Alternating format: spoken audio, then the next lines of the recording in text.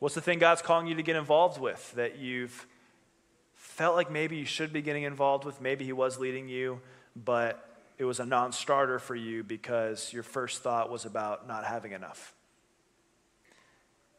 Really, what we got to do, we will turn this world upside down if we just are a people where is, it, is there enough is not our first thought.